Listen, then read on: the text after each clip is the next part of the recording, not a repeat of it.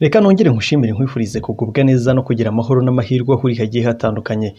Reka nkumenyeshe ko igisirikare cya repubulika ya demokarasi ya kongo ubu cyamaze kugura indege ntoya z'intambara zizwi nka drone. FARDC yamaze kwakira drone z'intambara yaguze mu bushinwa ngo zizayifashe gutsinsura M23. Igisirikare cya repubulika iharanira demokarasi ya kongo FARDC cyakiriye drone z'intambara mu zo cyatumije mu bushinwa ngo zigifashe guhangana n'abasirikare b'intare za M23 Africa Intelligence yatangaje ko mu cyumweru gishize ari bwo Congo Kinshasa yakiriye drone eshatu zo mu bwoko bwa CH4 z'ikigo China Aerospace Science and Technology Corporation yaziguze na cyo.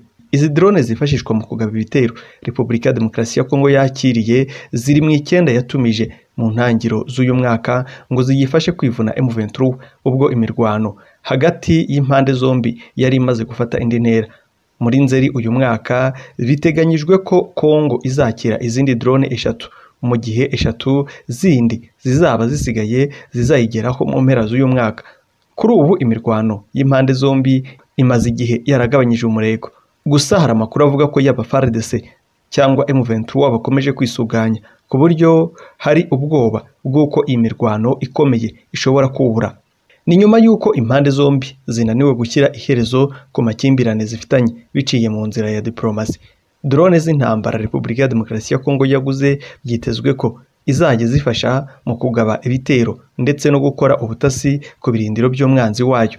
Usibye izi drone iki gihugu kinamaze iminsi mu biganiro n'ubushinwa bwifuza kukigurisha indege z'intambara zo mu bwoko bwa Chengdu FC rimwe Xiaolong ndetse n'izindi zo mu bwoko bwa Chengdu G10 byitezwe ko iby'izi ndege bishobora kuganirwaho mu mpera z'uku kwezi hagati ya perezida Felix Tshisekedi na perezida Xi Jinping ubwo uyu perezida wa Congo Kinshasa azaba yasuye ubushinwa drone zo mu bwoko bwa CH4 Congo yakiriye byitezwe ko zigomba kwiyongera kwiyongeraho izindi zo mu bwoko bwa MK icyenda Raider z'inyamerika zikazaba zifite ibirindiro ku kibuga cy'indege cya gisirikare cya Kavumu giherereye mu birometero bibarirwa muri mirongo itatu ugana mu majyaruguru y'umujyi wa Bukavu. Hagati aho inshuti magara ya FARDC ariyo FDLR Foka bashimangiye ko ari bo opozisiyo nyayo kandi ikomeye u Rwanda rufite. Umutwe wa FDLR Foka wihenuye ku yindi mitwe irwanya ubutegetsi bw'u Rwanda. Ivuga ko ari wo mutwe nyawo wa politiki na gisirikare ufite imbaraga n'ubushobozi byo guhangana n'ingabo z'u Rwanda RDF mu ntambara y'amasasu na FPR inkotanyi mu ntambara ya politiki. Ni ibikubiye mu itangazo uyu mutwe uheruka gushyira hanze ryashyizweho umukono na Kiringoma umuvugizi wawo mu bya politiki. Ku wa cumi n'umunani Gicurasi bibiri na makumyabiri na gatatu muri iri tangazo rivuguruza ibyo leta ya Kongo yavuze ko FDLR atari umutwe ukwiye gutera ubwoba u Rwanda. Uyu mutwe wa FDLR Foka watangaje ko kuva washingwa ku ya mbere Gicurasi muri bibiri na rimwe ari wo ufite inshingano zo kurinda umutekano w'impunzi z'abanyarwanda zibarizwa ku butaka bwa Repubulika Iharanira Demokarasi ya Kongo kuva mu igihumbi kimwe magana cyenda mirongo icyenda na kane. FDLR Foka yakomeje ivuga ko hashize imyaka igera kuri makumyabiri n'icyenda iri gukora aka kazi ndetse ko biyishyira ku mwanya wa mbere mu mitwe yose yaba iyitwara gisirikare cyangwa iya politiki ivuga ko irwanya ubutegetsi bw'u Rwanda. FDLR yagize iti kuva umutwe wa FDLR washingwa ku wa mbere Gicurasi bibiri na rimwe ufite inshingano zo kurinda impunzi z'abanyarwanda no guharanira ko zigaruka mu gihugu cyazo mu cyubahiro zigombwa kandi uwabikoze nk'uko bikwiye. Niyo mpamvu FDLR idahwema gusaba guverinoma ya FPR inkotanyi kwemera ibiganiro no gusaba imiryango mpuzamahanga kotsa igitutu iyi guverinoma itagipfa kuva ku izima kugira ngo yemere ibiganiro na opozisiyo nyayo kandi ikomeye iyirwanya ariyo FDLR Foka.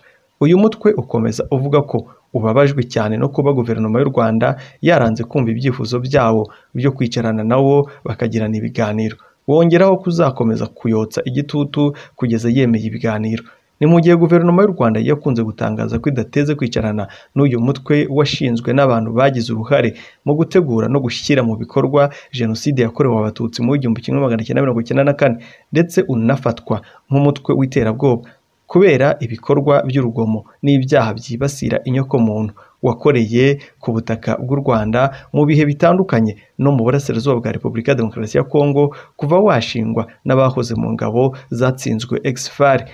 FDLR Foka itangaje ibi mu gihe hari indi mitwe myinshi irimo n'iyitwaje intwaro nka Rudurunana, CNRD, FRN na FPP ndetse na RNC ifite ibirindiro mu burasirazuba bwa Repubulika ya Demokarasi ya Kongo na yo ikunze kumvikana ivuga ko ifite imbaraga n'umugambi wo gutera u Rwanda igakuraho ubutegetsi bwa FPR Inkotanyi.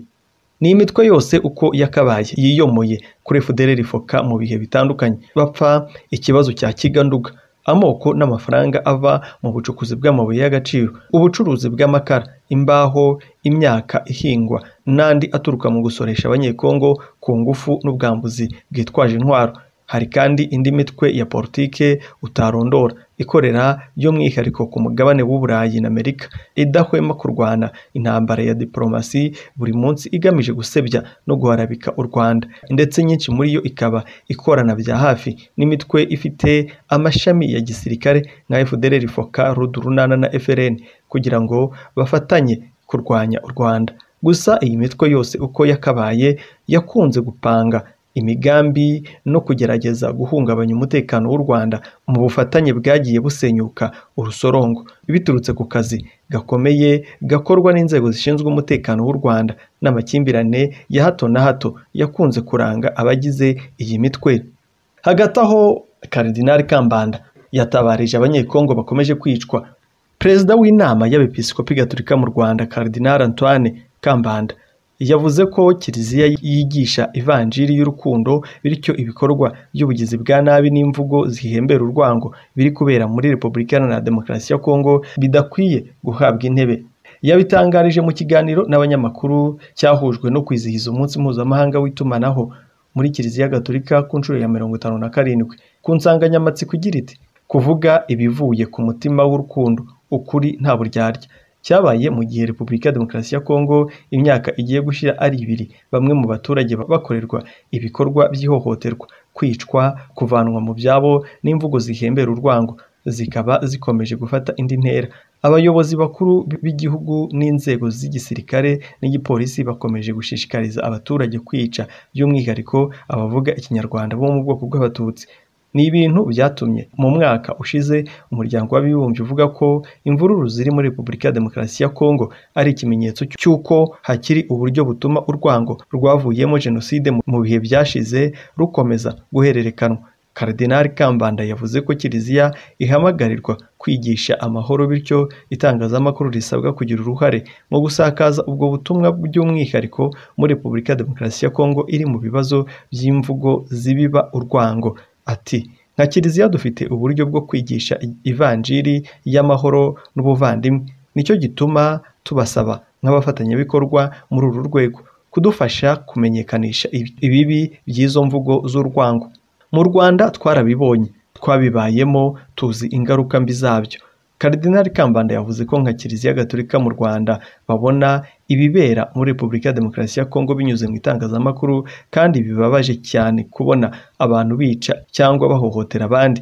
Ati amakuru twakira na yo tumenya binyuze muri mwe abanyamakuru. Ni ahanyu kudufasha muri ubwo bufatanye. Mugasakaza ubwo butumwa. Abantu benshi abanyekongo benshi bifuza kumva ubutumwa bwa kivandimwe. Yakomeje agira ati ubutumwa buvuye ku mutima bw'ukuri n'urukundo kandi bwubaka umuryango ubuvandimwe n'amahoro ni byo kiliziya ikora. Nta bundi buryo dufite nta ntwaro dufite zo kubihagarika. Abibasirwa muri repubulika ya demokarasi ya kongo n'abanyekongo bavuga ikinyarwanda by'umwihariko abo mu bwoko bw'abatutsi.